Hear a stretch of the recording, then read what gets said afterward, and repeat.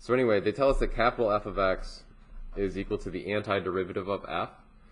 Um, and so, and that this is, that this is f of x right here, okay? And so we're not going to end up with a number because we want our answer in terms of capital F of x.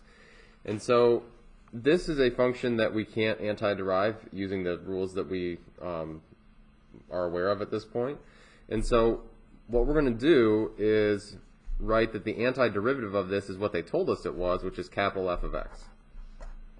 And we're going to evaluate that an, uh, antiderivative from 0 to 1. And so you're just going to take the um, approach that you would with any function or any antiderivative. You're going to plug in the upper bound, subtract the lower bound, and that's it. So you just they they want the answer in terms of capital F, and that so you're done. That's that's the whole thing. So, So capital F represents the antiderivative? that's right.